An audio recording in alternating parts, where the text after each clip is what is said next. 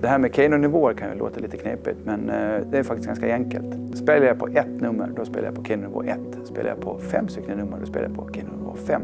Och spelar jag på 11 stycken nummer så spelar jag på Keno-nivå 11. Har jag spelat på Keno-nivå 11 och har 10 rätt så vinner jag 125 000 kronor.